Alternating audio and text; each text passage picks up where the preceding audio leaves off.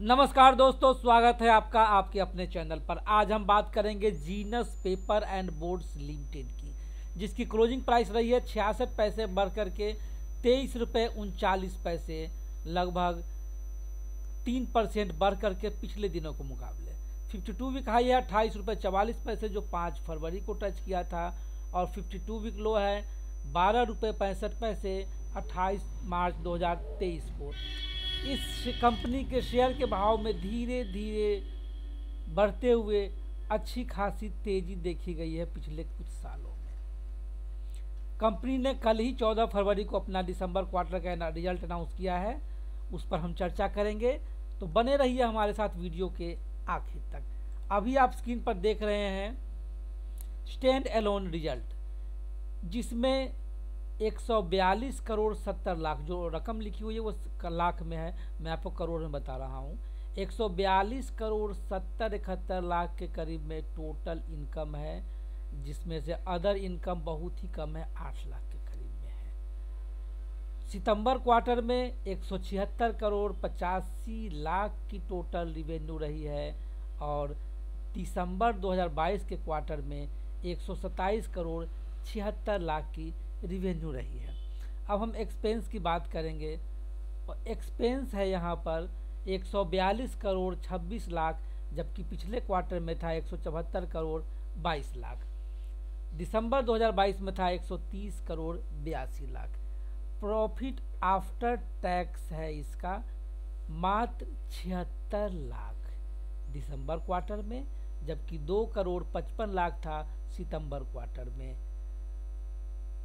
ती, तीन करोड़ चार लाख का घाटा था दिसंबर 2022 के क्वार्टर में। ये है इसका स्टैंड एलोन रिज़ल्ट। अब हम बात करेंगे कंसोलिडेटेड रिज़ल्ट की। कंसोलिडेटेड रिज़ल्ट में कुछ ज़्यादा रकम नहीं है। 155 करोड़ सड़सठ लाख की रिवेन्यू है इस क्वार्टर में।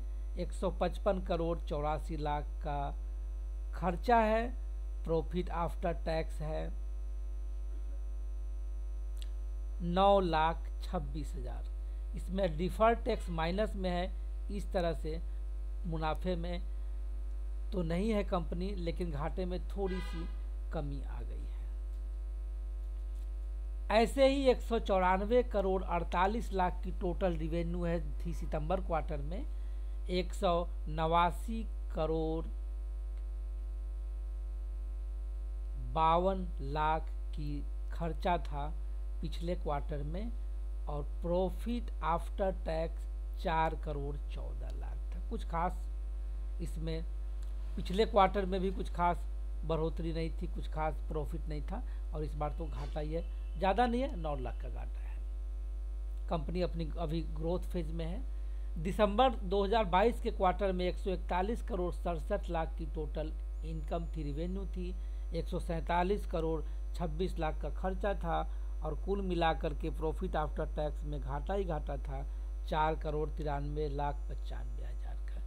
ये है Genus paper and board limited का लेखा जोखा दिसंबर क्वार्टर 2023 का। प्राइस में धीरे धीरे ही सही तेज़ी आ रही है। और रिज़ल्ट आने के बाद भी आज हमने देखा कि थोड़ी तेज़ी आई है छियासठ पैसे की। इस वीडियो में इतना ही। अगली वीडियो में किसी और कंपनी, उसके शेयर के बारे में चर्चा करेंगे। तब तक सिर्फ़ जानकारी के लिए हमारे चैनल के दूसरे वीडियो देखते रहिए और इन्वेस्टमेंट अपने फाइनेंशियल एडवाइज़र की सलाह पर ही करें। हम कोई टिप्स नहीं देते। धन्यवाद।